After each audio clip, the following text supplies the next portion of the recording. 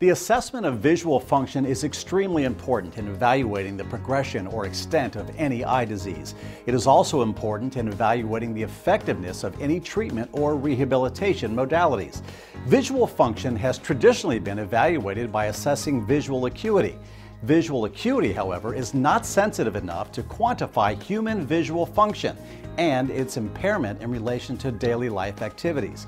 Morphological analysis by fundus photography and OCT exams does not allow quantitative evaluation of the quality of visual function, and therefore it does not allow to measure changes in the retinal and macular functions. Especially in patients with macular disease, conventional perimetry shows limited precision and repeatability because it is unable to track eye movements, lacks sensitivity to small scotomas, and provides no determination of fixation behavior. Microperimetry is an innovative diagnostic technique that was developed to overcome such limitations of the traditional technique.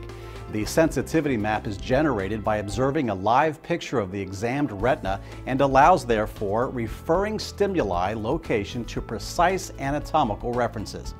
Microperimetry, also called fundus-related perimetry, is then correlated with the fundus of the patient. Microperimetry is, at the moment, the only examination that allows putting into correlation in an objective way the morphological aspects of the retina with the corresponding functional aspects.